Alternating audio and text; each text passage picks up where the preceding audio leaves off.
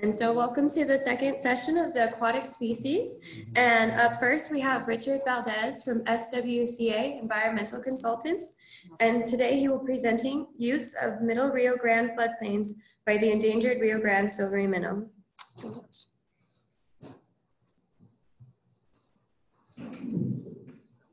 Thank you, Mo. That was a kind introduction. Yasmin, that was beautiful. Thank you so much. That was wonderful. Appreciate that. Okay, we're going to switch from uh, poetry of the Rio Grande to poetry of the silvery, silvery minnow. the Middle Rio Grande Collaborative Program has been engaged in habitat restoration for many years. The 2003 biological opinion probably is what stimulated or instigated that to begin with, where it required restoration and creation of floodplain habitat as a way to reconnect the river to its, to its floodplain as much as possible. the work I'm going to talk about is work that has been done through the, by SWCA, through the Interstate Stream Commission, with support from other individuals as well, and I'll show you those acknowledgments here in a bit.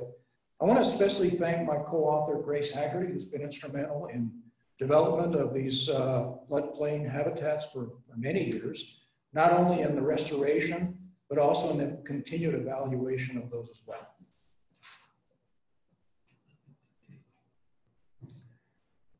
So the 2016 biological opinion contains something called the hydrobiological objective.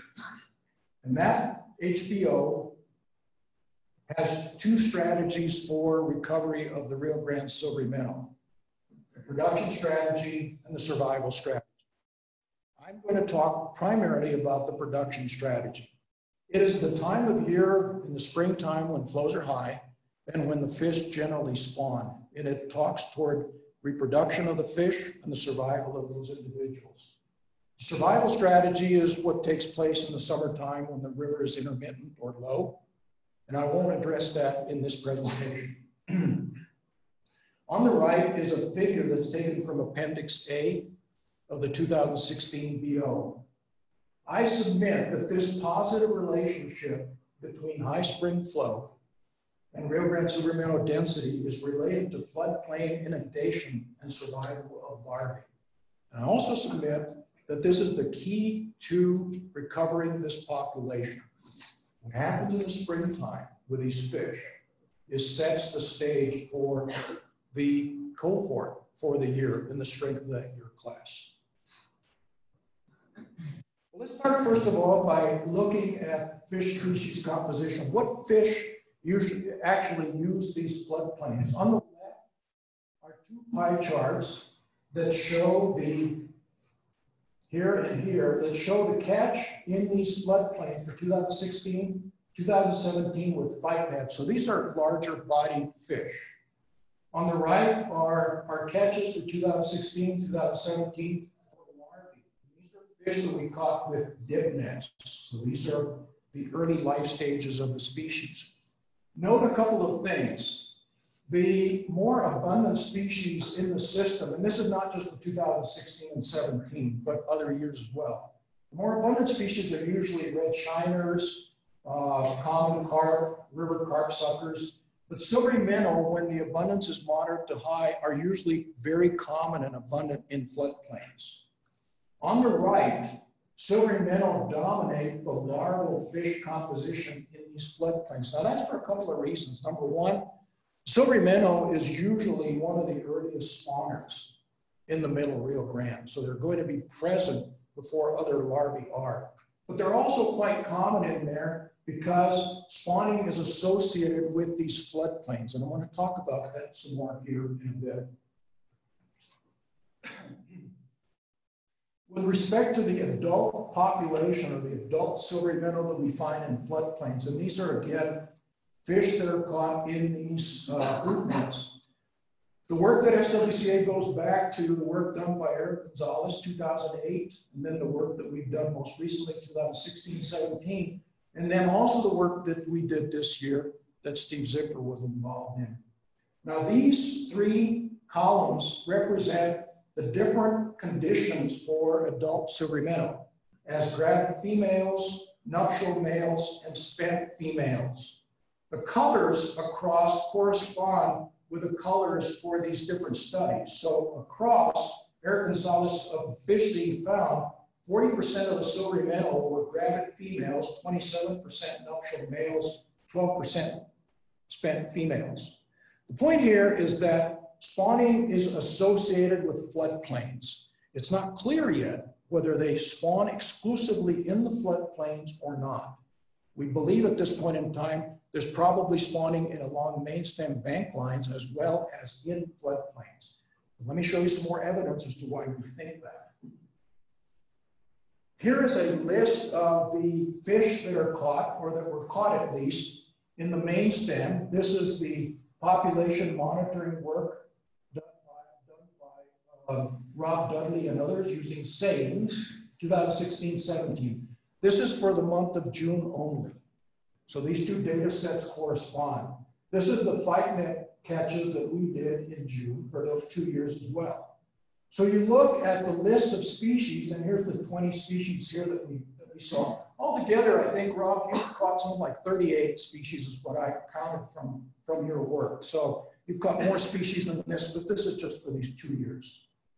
Notice again the common, the more common species are these that you see above the top nine or 10 uh, silver minnow, of course, red shiner, long-nosed dace, flathead chub, channel catfish, common carp, fathead uh, minnow, river carp suckers, white suckers, and western mosquito fish. These are the ones that you see most commonly in the system. But here's the interesting thing. Of those 20 species that we caught, in those two years, we found 13 of these, and this is the check marks, that were actually found as either larvae or young fish in the floodplains. So clearly in this river system, as is true in many river systems, the fish are using the floodplains as nurseries, or at least many of the species are. Now that doesn't mean that they're in there exclusively. That means that they use those as nurseries.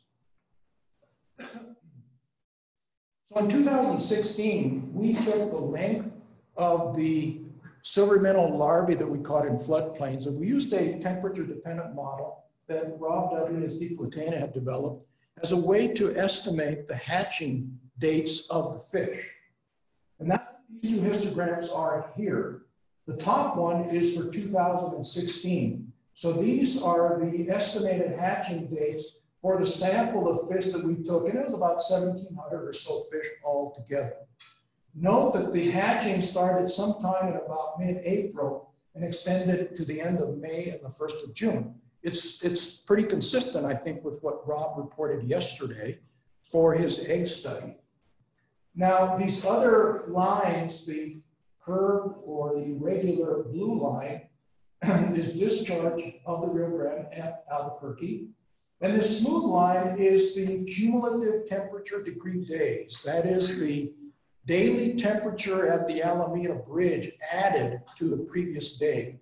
So it accumulates over time. I did that for a particular reason, and I'll show you why here in a bit. this is for 2017. Notice for 2016, it was a fairly normal looking distribution of hatching dates. For 2017, it was more irregular. We think part of the reason is, again, similar to what Rob Dudley reported yesterday. Evidently, when there is a sudden increase in flow, we have some spawning taking place and some hatching. And then we saw the majority of that with that larger and major increase here later on. Now, the interesting thing about this, so, so we are trying to figure out why it is that the fish spawn when they do, and, and what cues them or keeps them to spawn relative to flow and temperature. The temperature at the initiation of spawning in the two years was different, the actual river temperature. About 12 and a half degrees since 2016, about 10 degrees in 2017. However, for that same day, the cumulative degree days, that's the cumulative temperature above 5 degrees centigrade, was almost identical, 692 versus 694. This is pretty similar to what's been reported for other silvery minnow-like species from other river systems. So we're starting to develop the hypothesis here that perhaps we can look at cumulative degree days of temperature as some early predictor, perhaps, of spawning for the silvery minnow. I'm going to use four illustrations by Howard Brandenburg to point out one other thing about silvery minnow in these floodplains. Silvery minnow go through four life phases, protolarvae, mesolarvae, flexion, which is, if you look at the notochord on this guy, notice it's straight. Notice how it's flexed right there?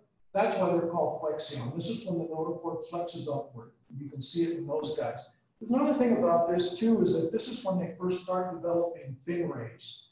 They develop most of the fin rays by that late mesolarval stage, and by the metalarval stage, they've got fully developed fin rays. We believe that what is happening is that these fish have increased swimming ability.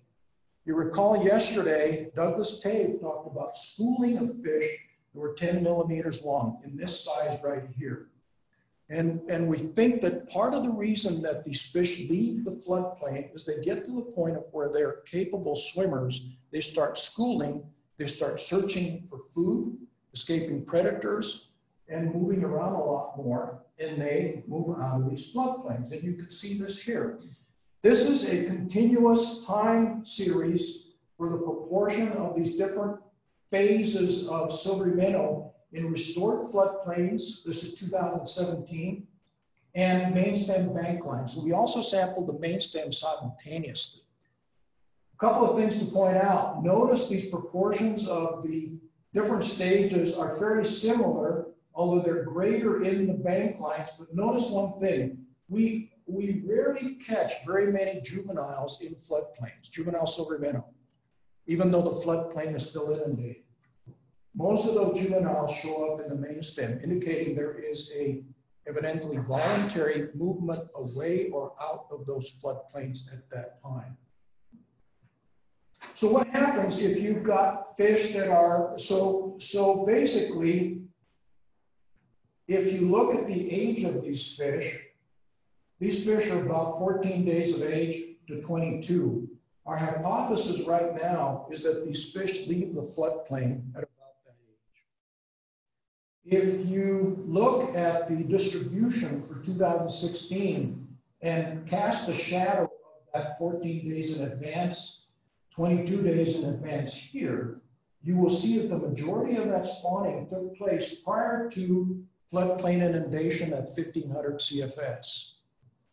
And in fact, only about a third of the hatch occurred during the time that the flows were above 1500 CFS indicating that there's probably mainstem spawning along bank lines. The fish move into those, or they're transported into those, or there's movement. We think now that this is evidence that there's evidently some kind of flux in, in the larvae and eggs between the main stem and floodplains to where you see this movement back and forth.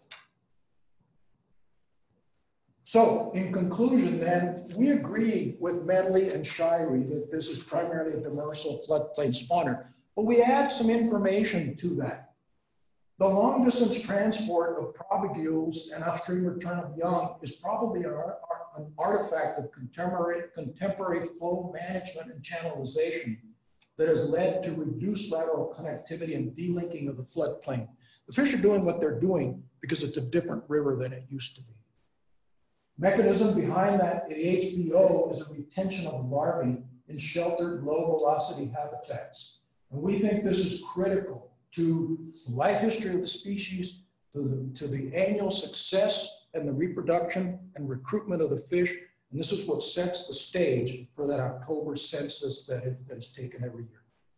I want to thank all of these individuals uh, for all of the assistance and collaboration that we've received from everybody. And I'll be willing to take maybe one question. Deb?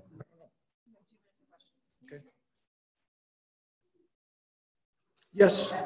Hi. Hey, can, can everybody hear? I'm pretty loud. Okay,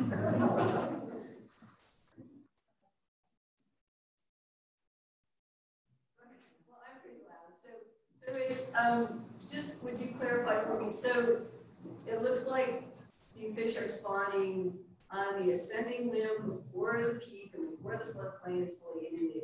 So if they're spawning along the bank line, they're spawning near the bank line, in the main stem are the physics of the water and transport of those early larvae that can't swim yet. Are, are they getting pushed onto the floodplain as the water comes up? Yeah, thank you. Um, Probably in that proto-larval and early mesolarval stage, the movement of those fish is passive. In other words, they're caught up by the currents and they're moved. They have some, they, they have what- what's known as a C movement, which is they just basically curl up in a little curl and then just flex, open up, and that's about the only movement they have. Once they develop fin rays, once they've got rigidity in those fins, it's like, it's like trying to paddle with a jello, with a, I'm sorry, trying to paddle with a paddle made of paper or jello. There's no rigidity in that. Once they have that rigidity, they're able to swim around. And so I, like I described below before, I think it's a flux of movement that takes place depending on when the spawning takes place relative to inundation. And of course, that's the management implication, right? If we can estimate when that spawning might take place, we might be able to determine, based on Rob's findings as well, when that spawning can actually occur. If they're ready to spawn at a certain temperature degree day level, then perhaps we can actually stimulate the spawning by flow management. Yeah, is there another one? Hi, thanks for. Hi, Paul. Hi. So what are you guys calling floodplains? Are you including the vegetated bars and islands? And if so, do you see any sort of difference between those and what we typically think floodplain? Yeah, we're, the flood, we, we went to specific fairly identifiable floodplains, especially these restored sites. But the floodplain is really everything that you see, like in two thousand five, you know, you had a lot of water up in the vegetation, right? And those fish are using probably most of that habitat that's available, yes. Thank you.